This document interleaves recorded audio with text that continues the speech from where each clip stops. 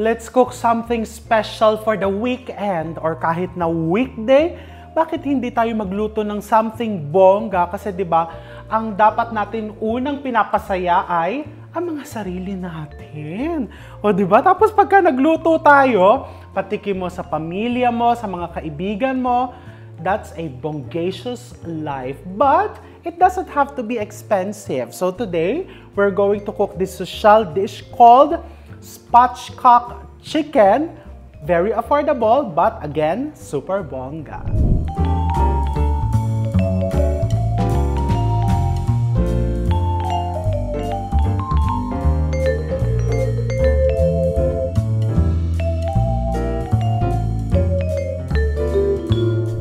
Ano naman yung spatchcock chicken na yan? May mga bago ka na naman pinagsasasabi dyan.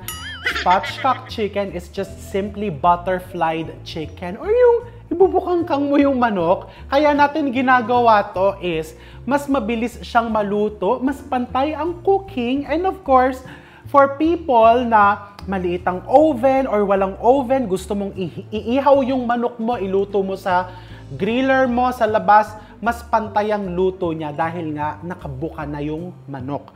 So it's very simple. I have here my chicken. So ang gagawin ko lang dito sa chicken ko, ayan, tatanggalin ko yung kanyang backbone. So gugupitin ko lang yan. I just have here a kitchen knife or kitchen ano ba to? Hindi to knife. Ano nga, anong English nito? Shears. Nako, Diyos ko. Hindi kasi ko, ano, nalimutan ko na yan, mga dahilan ko, no. Gunteng. So, meron ako ditong gunteng. Ayan. So, itong tatanggalin mo, o kung magtitinola ka, di ba, edi ito gamitin mo. Itong pan ko, nilagyan ko ng parchment paper. Tanggalin ko na yung buong backbone. Kung ayaw mo naman tanggalin yung buong backbone, you can actually leave it. You have to make sure that your kitchen gunting is sharp. Ayan, so kung magsosopas ka, may pangsopas ka na, eto na yon. May mga buto-buto ka na. Mm, yan, tatanggalin mo lang yan. O, di ba? I'm so proud of myself. Okay? And then the next step, o, eto na yung iyong spatchcock chicken. Yan na yan. It's the process of butterflying the chicken. Kung anong gusto mo sabihin, butterfly chicken, kung anong mas term ang type mo, yun ang gamitin mo. And then I'm going to make the dry rub. I have here iodized salt. This is just thyme, black pepper, garlic powder, and curry powder. Bakit may curry powder? Hindi po ako mahilig sa Indian food. Hindi ko po gusto ang amoy niyan. Don't you worry. This will not make your roast chicken taste like curry. This will just give it a nice aroma. Magtiwala ka sa akin. I'm sure yung iba sa inyo, marami sa inyo, three years nang nagtitiwala sa akin sa mga lulutuin. So, thank you. Mm, hindi ako hahalik sa kamay ko dahil mawak ako ng manok. Trust me, this curry powder will really make the difference. Gagawin niyang extra bongga itong chicken na to. Pababanguhin niya and kakaibang lasa yung ibibigay niya. Something that you will surely love. So yan, paghalu-haluin mo lang yan, dry rub mo. And then, unahin mo yung loob. Yan. Ganyan mo lang dyan. Sa kabilang side, nilagyan ko ng parchment paper yung pan para mabilis hugasan. And make sure yung mga sulok-sulok ng chicken mo, malalagyan mo ng dry rub mo. Pagkalagay mo ng dry rub, ang pinaka-importante is imamassage mo siya dun sa chicken. Doing so, sisigurado ka na papasok hanggang sa kaloob-looban. Ayan, ganyan lang. It has to be with passion. Papasok hanggang sa kaloob-looban ng chicken yung flavors, 'di ba? I-massage mo lang siya with passion, with love and passion.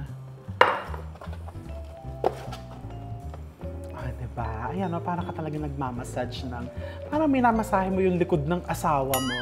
But this time, oh, may amoy na curry. And then, yung sa loob, imamassage mo din. The cavities. Ipasok mo yung mga daliri mo dyan sa cavities para naiitulak mo yung dry rub papasok sa loob ng manok. Ayan. So, the next step is, eto mismo, i-roast natin to in a preheated 350 degrees Fahrenheit oven. Kung yung oven mo is may fan, mas maganda yon kasi mas pantay yung magiging luto ng chicken. Kung wala namang fan yung oven mo, no problem. But me, bubuksan ko yung fan ng aking oven. Alright, I have here an, an aluminum foil. Itatakip ko to dito sa aking chicken. Bakit ko siya lalagyan nito? Because concerned ako doon sa chicken breast. Ayaw ko siyang matuyot. Kasi makikita mo, no? Nakahayang yung chicken breast natin. So if the heat goes directly onto your white meat, lutong-luto yan. Ang dark meat mo, mas matagal maluluto. So by the time na maluto yung dark meat and mag-brown yung balat, tuyot na yung breast part. Ay, ako favorite ko yung breast part. So palagi ako nag-worry dyan. So I found a solution. Takpan mong ganyan. Kung gusto mo na, eh, hindi masyado nag-crispy to. Gusto ko crispy to. Eh, di ganyan. Basta yung breast, takpan mo. Okay? And then, isasalang ko na to sa aking preheated oven. 30 minutes. After 30 minutes, hahanguin mo, maglalagay tayo ng potatoes and kung ano-ano pang mga secrets, isasalang natin ulit para mag-brown ang balat. Ayan! See you soon! Oh, ayan na! It's been 30 minutes of roasting for our spatchcock chicken. Hinango ko na siya from the oven and mapapansin mo, nilagyan ko lang ng tinidor yung ibabaw kasi bukas yung convection or yung fan ng aking oven. So nililipad-lipad yung aluminum foil para lang hindi sa liparin. So let's mag-ginit. Tanggalin mo lang ang mga katiniduran mo. And then we're going to do the next step. What I love about this recipe is talagang in one hour, tapos. And maglalagay tayo ng patatas, wala kang iintindihin, isasama mo siya sa baking ulit ng chicken mo or roasting. Nalilito na ako. Basically, when you say, pag may niluto ka sa oven, if it's pastries, breads, sweet products, cakes, baking yon.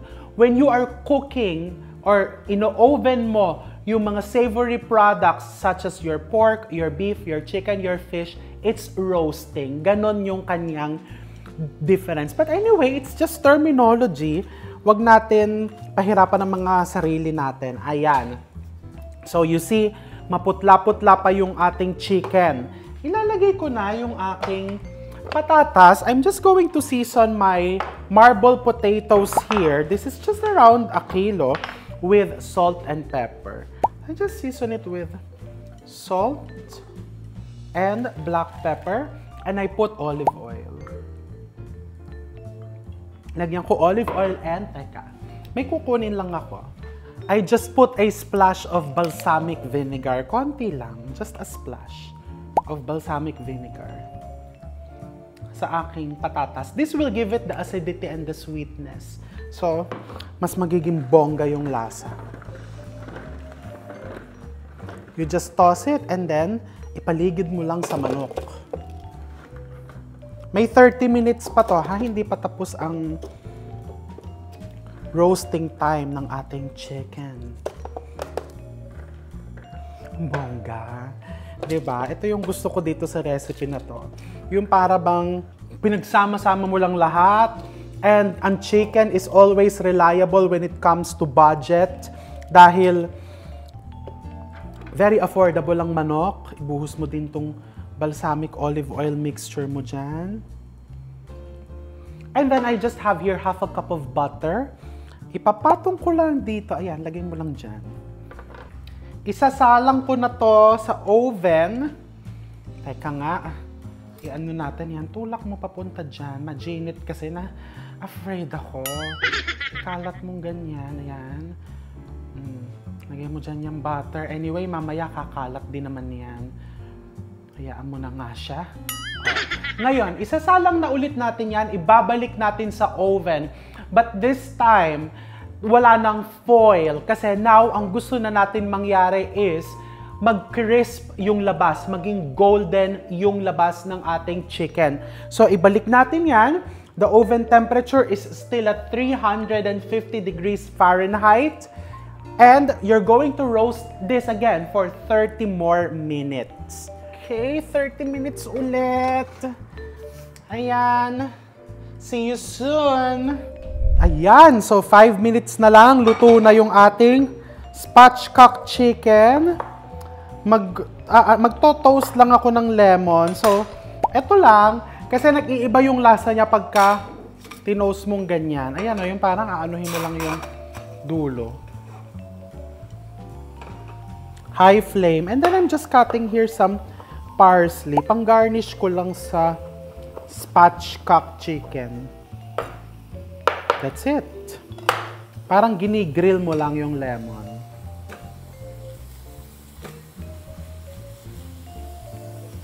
Just want to make sure na mainit yung pan. And actually, yung chicken ko, pwede ko na din hanguin pagka-grill ko nitong lemon. Mm, diba? Bongga. Pwede mo din i-oven yan, air fryer. Normally, sa ihawan yan, eh, kaso wala naman akong ihawan dito. Papabaga pa.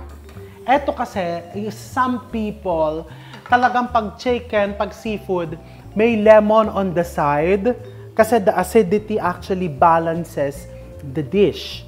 Yung richness ng dish na babalance niya. So just pampabongga din, di ba? Hmm, ayan. Okay na yan. And then, yung chicken, hahanguin ko. Look at that. Oh my gosh. Super bongga, super sauce. Being careful, yung lemon, oh, lagay mo lang dyan. Mm.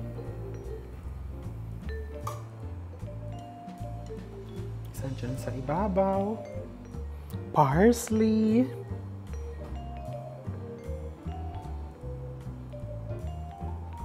And, ayan na.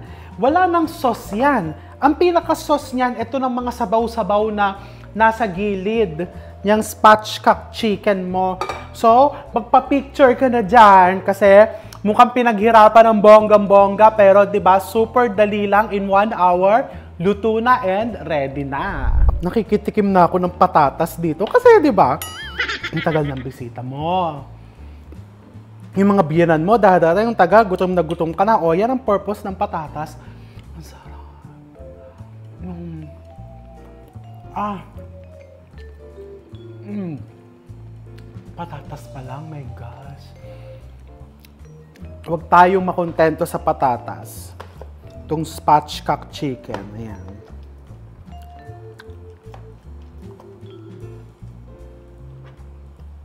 And dahil social tayo, pipiga tayo ng lemon. Uy, may nakainan akong fine dining dati. Meron pampigaan ng lemon. May lalagyan yung lemon. Pampiga, ayan. Konti lang. Ayan. Oh my gosh. Mmm. Gusto ko may skin.